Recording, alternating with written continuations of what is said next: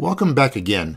This is Larry Benko, W0QE, and the topic for today's video is the Smith chart and nothing but the Smith chart, which I hope you find interesting.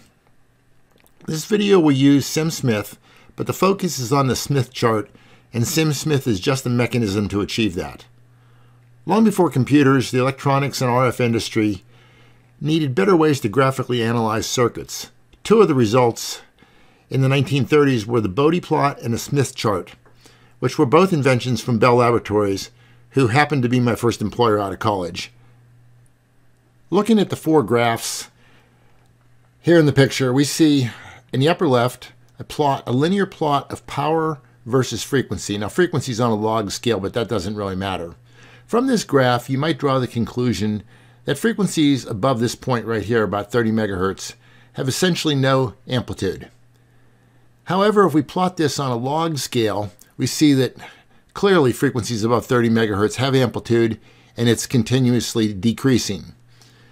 We make a modification to a plot like this in the voltage that's plotting voltage, current, or power, often to see more resolution in areas that we consider to be important. There's no more information in this graph than there is in this graph. If you drew this line with a fine enough pencil and you had large enough magnifying glass, the same information is on this graph as is on, as is on this graph. However, this gives you a more intuitive feel for what's actually going on. Similarly, and I use SimSmith to create this plot, by the way.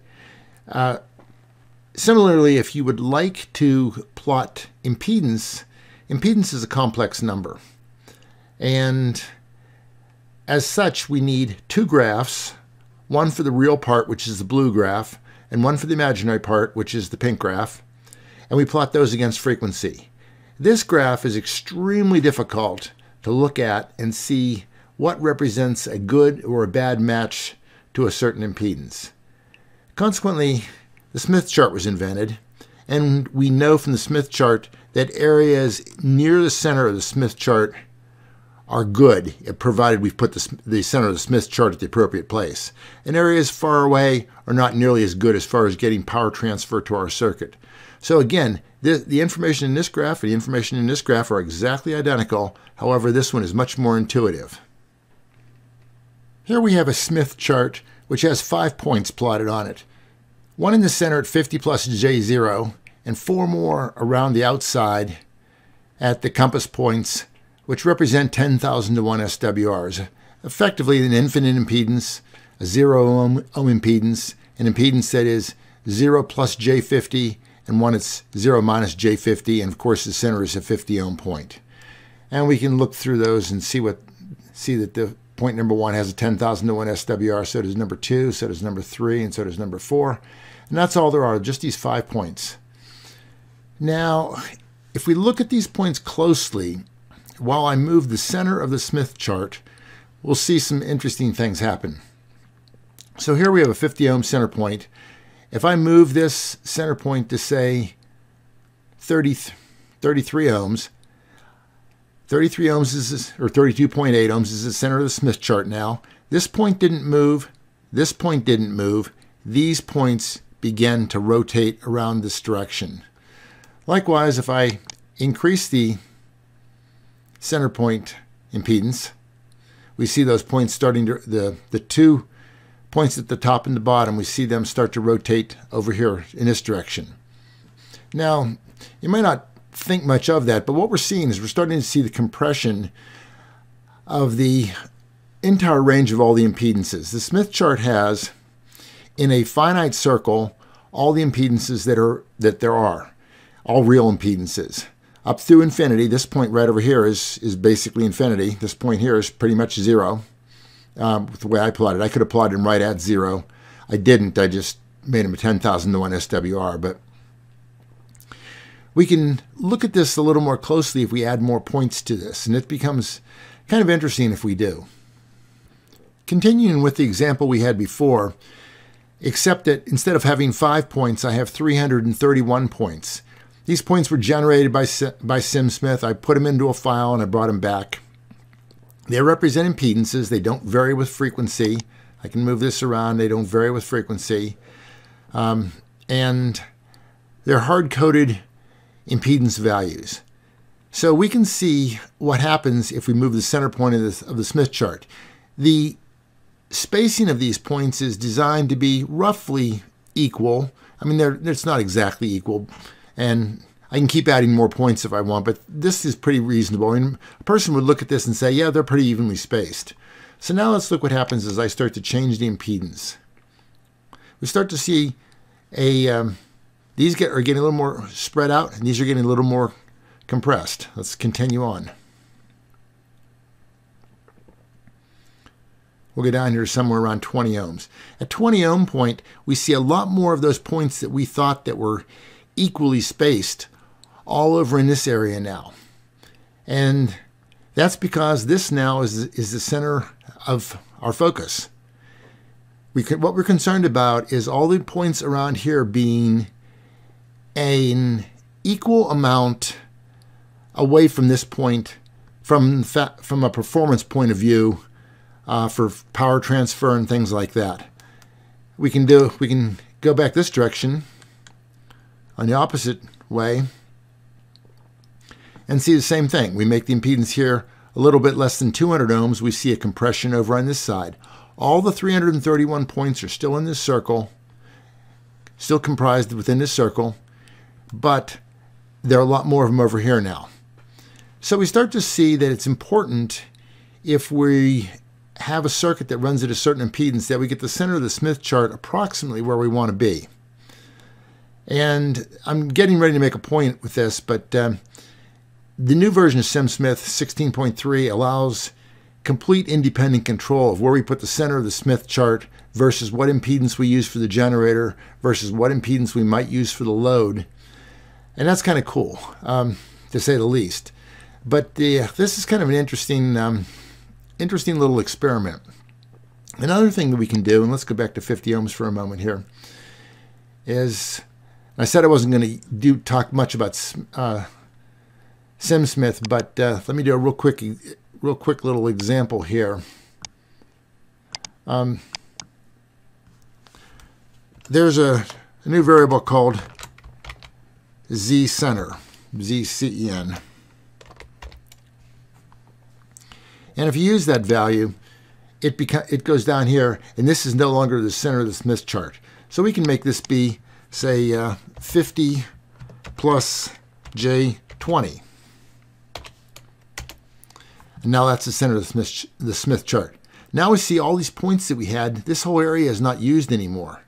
It's kind of interesting. This, this area represents, um, well, we click up here and see what we get. This actually represents a value which has a negative real, real impedance and a negative real part to the impedance. And down here, these values have positive real the impedance. This is a little bit difficult to understand, and I may not be explaining this very well, but we can put SWR circles on this Smith chart. I did 1.52 and 3 to 1 right there. They're centered around this point right now. They're centered around the center. There's another var new variable that's appearing called ZSWR, and there's also one called ZGen. Um, they're, in, they're in the documentation. But if we make our ZSWR point be 50 ohms, we can move, this is the, this is the point that was 50 plus J0 right here. And these are the circles. What we start to see as we move the center point of the Smith chart, no matter how we move it, SWR circle, SWR, constant SWR plots remain circles. They don't remain centered on this point, um, but uh, they're, they're still circles. So if we move the center point, say make it back zero again, and we move it up here,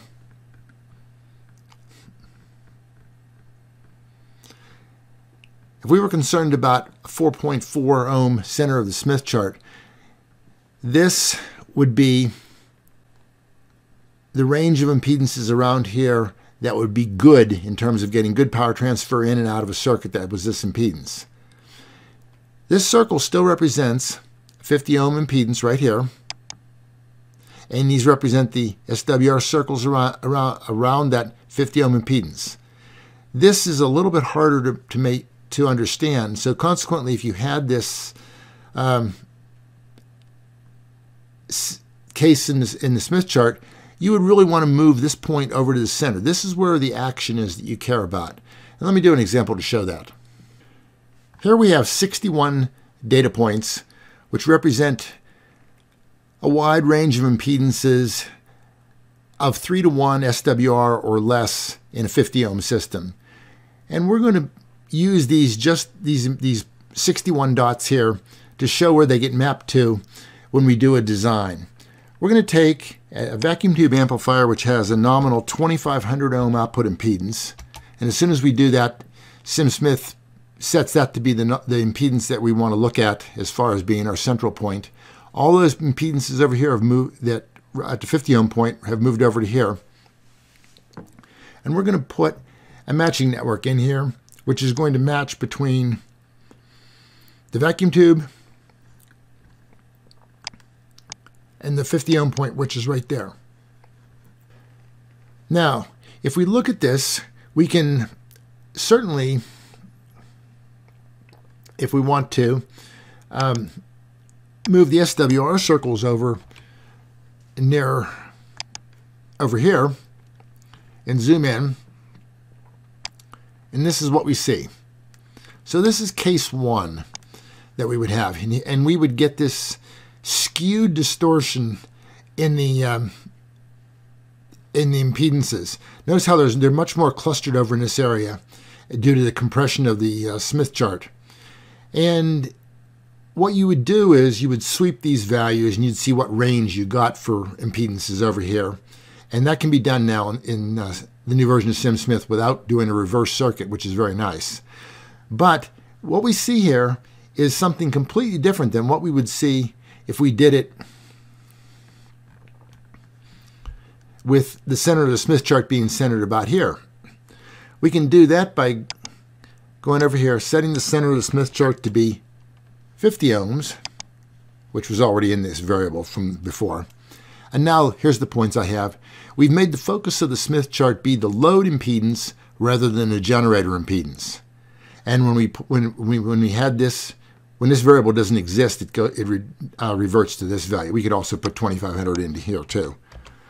So here we've made the center of the Smith chart's focus be the generator, with the load being not nearly as important.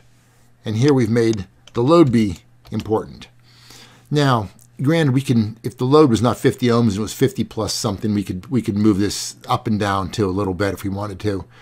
Um, realizing that the Smith chart, if we move the center point to be anything other than other than resistance, we end up with some real values of impedance being outside of the Smith chart. Um, typically, you don't do that, but, but SimSmith allows you to do that, and that's perfectly legal. But the point I wanted to make was we get this this huge compression in the values, and my first experience with the Smith chart was when I was a little kid. My grandfather was a double E professor at the University of Pittsburgh. And I, he always had graph paper in his office. And I always, when we came to visit them on Saturday night and had dinner with them, uh, I would always go up and get graph paper because it was always fun to write on graph paper because it was kind of cool. And this is regular, you know, XY graph paper. But he had this tablet that had Smith chart paper on it, and I always asked him what it was, and he always told me it was too complicated to explain. And one time he made a comment to me that if I took my regular graph paper and I put a magnifying glass in the middle of my graph paper, that's kind of what the Smith chart was. And I kind of that kind of remembered that for the rest of my life. Um, and that's kind of what happens in a Smith chart. You take all the impedances there are in the universe, all real impedances, and you magnify this area so that these become more important. And that's kind of the power of the Smith chart. But um, if you operate it inappropriately for in the case of this, it's inappropriate. Putting everything over on the side here, we don't see, we number one don't see the spatial, I mean, all these points were equally spaced in a 50 ohm, in a 50 ohm environment, and they appear to be not nowhere close to being equally spaced over here. So you get to draw conclusions in your circuit that may not be quite correct. So the new power SimSmith being able to move this move the center point around, being able to move the SWR circles anywhere you want, is really powerful. But it comes about from the desire to have the center of the Smith chart be where the focus of the circuit design really is. Hope this video has been interesting to people. Um, this stuff's kind of complicated.